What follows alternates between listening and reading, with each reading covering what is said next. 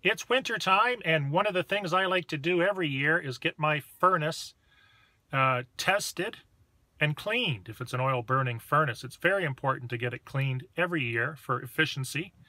And more importantly, it's a good idea to make sure your furnace is set up properly and have them check the zone controls and everything else. You'll save a lot of money. Having it done yearly costs next to nothing in relativity to how much money you will save on fuel consumption. Have a great day. I'm Michael Poczynek from Century 21 Northumberland. We're giving an iPad away this year. Visit ipad.michaelshomes.com to enter the contest.